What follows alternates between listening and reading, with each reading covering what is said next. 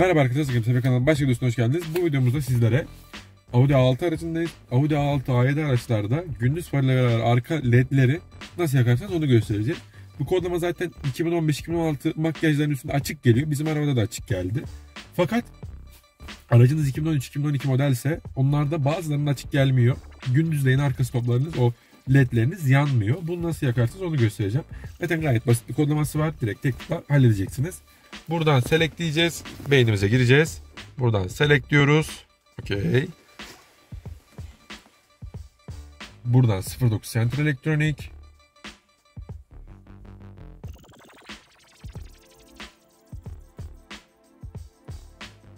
Buradan coding. Long coding helper. Niye çok uzun çıktı? Heh.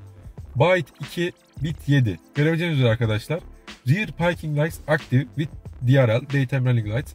Bunu seçtiğiniz anda arkadaşlar gündüz farlarınızda arka stoplarınızda yanacaktır.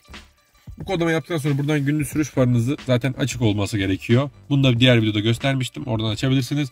Bunu açtığınız zaman ön farlarınız yandı, ledleriniz yandığı zaman arka ledleriniz de yanacak.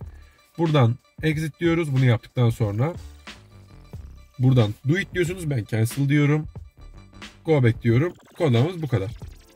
Bu kodlamamız bu kadar arkadaşlar. Videomuz bu kadar. Şimdi kendinize çok iyi bakın. Diğer videolarımızda görüşmek üzere. Hoşçakalın.